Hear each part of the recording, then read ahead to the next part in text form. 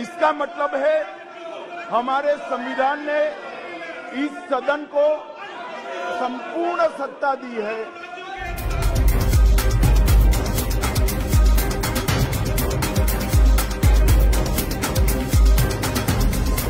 जो मुद्दे संसदों के, संसद के नियमों के अनुसार उठाए गए, मैं इसकी स्पष्टता इस महान सदन के सामने करना चाहता हूँ।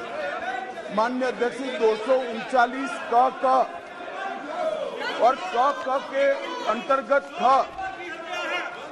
इसमें स्पष्ट उल्लेख है संविधान में कि उपखंड क की किसी बात से संघ, राज्य, क्षेत्र या किसी भी भाग के लिए किसी भी विषय के संबंध में इस संविधान के अधीन विधि बनाने की संसद की शक्ति का अल्पीकरण नहीं हो सकता।